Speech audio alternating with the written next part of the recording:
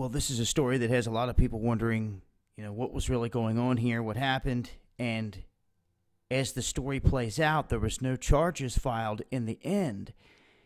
And some people say, how can that be when marijuana was discovered and in Kentucky it is illegal and there was an infant in the car? But what we have here is police being called to a Walmart that was on Richmond Road, this is in the Lexington area of Kentucky, where they say witnesses seen a car full of men wearing body armor and holding semi automatic weapons, and there was a baby in the car. Now they're saying that the officer showed up and got the three men out of the car around 11:15 p.m. on Saturday night, and that the men said that they were preparing for doomsday and needed supplies. The men were armed with pistols and semi-automatic rifles, and they say that a license is not required to have these semi-automatic weapons in your car. Now the police also found marijuana. They don't disclose how much though. They don't state if it was a roach, if it was an ounce or a pound. They don't say none of that. They just say that all three men voluntarily came down to the headquarters for questioning.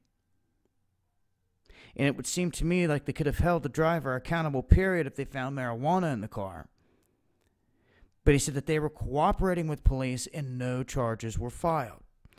So, will they let them go for whatever reasons? There was a child in the car, and they say that they had to complete a report and they're sending it to the Cabinet for Health and Family Services because of the infant being in that car. They said there appeared to be nothing criminal going on.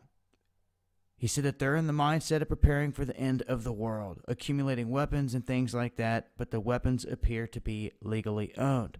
Now, the weapons and all that, that's one thing. But that's where the situation sits as they let these men go and guarantee one thing they're definitely on a list being watched at this point, and they're probably going to be getting a knock on the door the child services uh, coming trying to take their child. And who knows what will happen then? Something else could play out if that happens. We'll see.